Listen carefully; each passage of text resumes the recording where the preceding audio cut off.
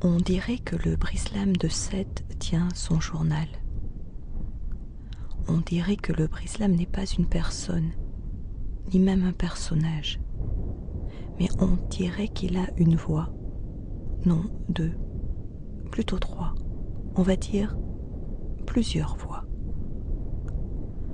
On dirait que ces voix nous parviendraient à travers le rocher et le béton. On dirait qu'elles nous arriveraient donc assourdies, filtrées.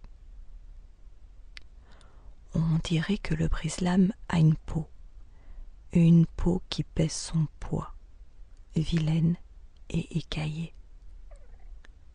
On dirait qu'il a des yeux qui veillent, balayent la nuit. Un intérieur aussi, un peu glauque comme le sont les entrailles, sointant et qui rend des sons sourds, avec des portes condamnées. On dirait que dans sa peau circule de l'eau, on dirait que la mer, il l'a dans la peau.